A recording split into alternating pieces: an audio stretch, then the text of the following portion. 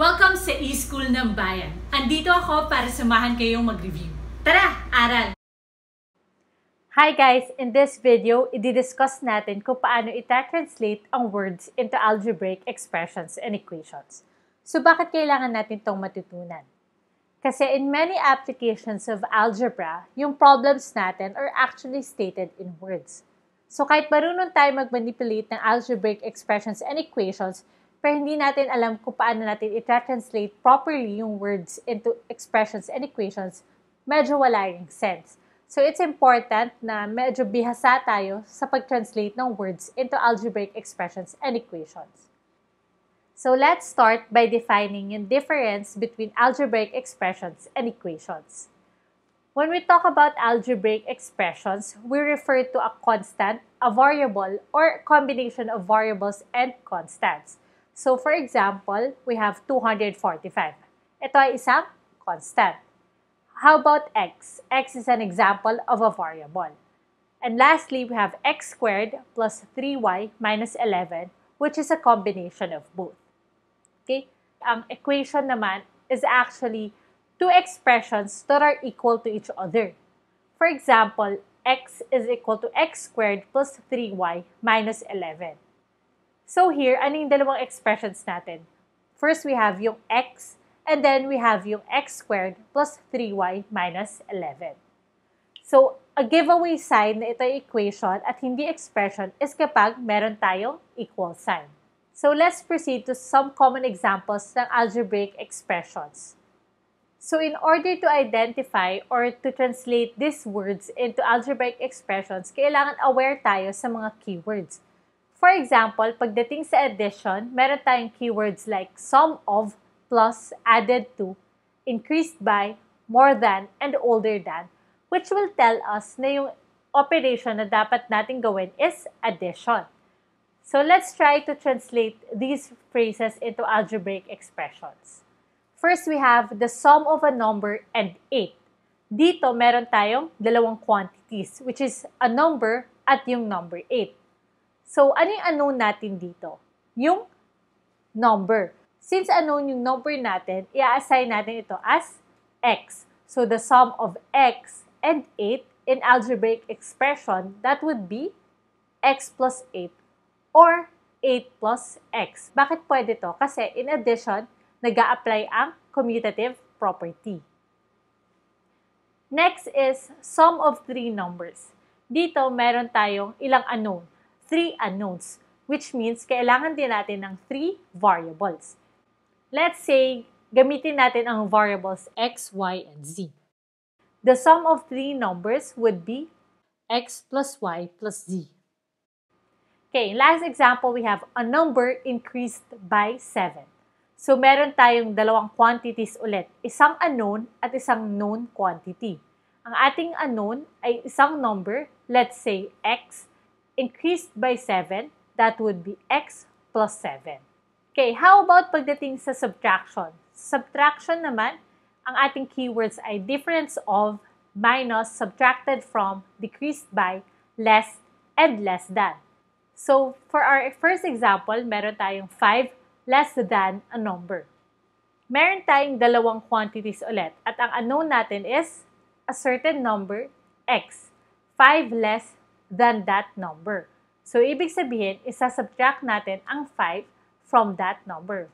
We will have x minus 5. How about if we say 5 less a number?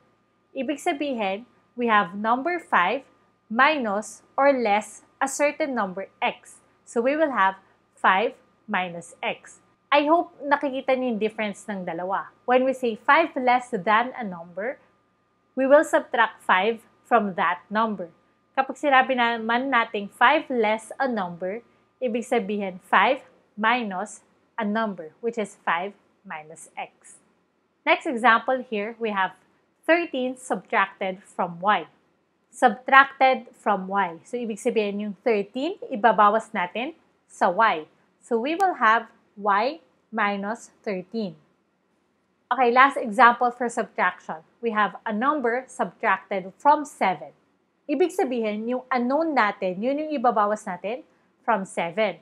So, 7 minus a variable. In this case, let's use x. So 7 minus x.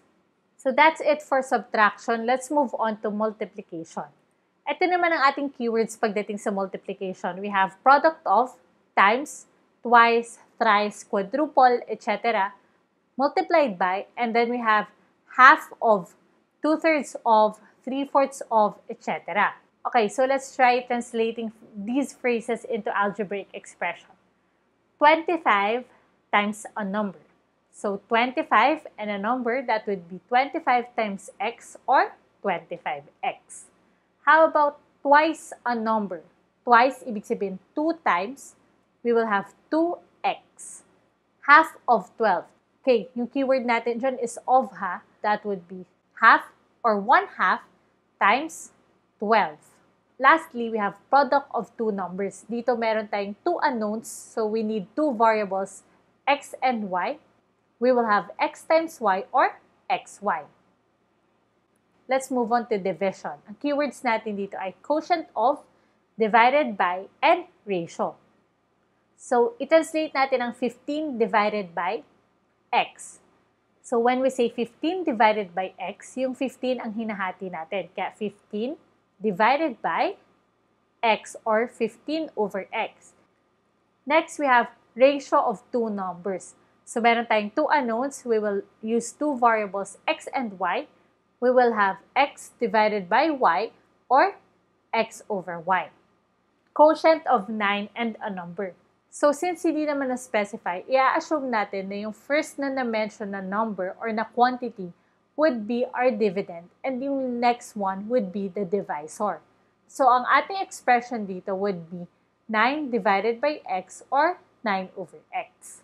So, that's it for our algebraic expressions. So, pagdating naman sa actual word problems natin, ang ginagamit natin actually are algebraic equations. So, here is a guide kung paano natin ito i-apply pagdating sa ating word problems. Kasi pagdating sa ating word problems, hindi lang naman expressions ang meron tayo. Meron tayong complete sentences that will give us equations. So first, read the problems carefully and identify all the conditions. Next thing you're gonna do is determine the unknown and unknown quantities. So kapag alam mo na kung ano yung mga unknown quantities, you will use a variable to represent one of the unknown quantities. And then, if possible, try to use the same variable to express the other unknown quantities in algebraic form. Okay? Kasi mas madali siya kapag isang variable lang yung nakikita natin. Pero kapag imposible naman, syempre, we will use more than one variable. So in most cases, in most word problems, one variable is enough. And then lastly, i-determine natin yung relationship ng quantities na ito so that we can form an equation. Okay, so i-apply natin to sa ating examples. Here we have the quotient of a number and the number minus 9 is 2. So meron tayong dalawang quantities dito na dinivide natin kasi keyword quotient. So what are these quantities? We have a number, let's say x, and the number minus 9, which is x minus 9. So ito yung ating unknown quantities. So ano naman ang ating known quantities dito? We have our quotient, which is equal to 2. Now we're done assigning our variables and identifying our quantities. So ngayon, alamin naman natin kung anong relationship ng quantities natin. Keyword quotient. So ibig sabihin may dalawa tayong dinedivide. Ano to? Yung x and x minus 9. In this case, since yung quotient natin is 2, which is greater than 1, ang ating bigger number, which is x, ang ating magiging dividend. Or yun yung ating i-divide by x minus 9. So we will have x divided by x minus 9 is equal to 2. Okay, how about this one? If 16 is subtracted from a number, the difference is 48. What is the number? So, similarly, identify natin yung quantities natin and mag-assign tayo ng variable. Since yung unknown natin dito is a number, we will assign that as x. We will have 16, x, and 48 as our quantities. So now, ano naman yung relationship ng ating quantities? Or ano yung operation na involved? since we have the keywords subtracted from and difference, ibig sabihin we will subtract two numbers to get 48. In this case, we are subtracting 16 from x. So we will have x minus 16 is equal to 48. Next example. The larger of two numbers is 9 more than the smaller. Their sum is 53. So in this problem, meron tayong dalawang unknown quantities which is a larger number and a smaller number and isang known quantity which is the sum equal to 53. So let's assign the smaller number as x while the larger number is x plus 9 since larger of two numbers is 9 more than the smaller. And then yung ating known quantity will just remain as 53. So ang keyword natin dito is sum. Ibig sabihin, we will add these two numbers to get 53. We will have x plus 9 plus x is equal to 53. That's it for our examples. I think you're now ready for a quick quiz. So here's your quiz, guys. I hope you will try to do this on your own. The answer to this quiz will be on the next video. Thank you.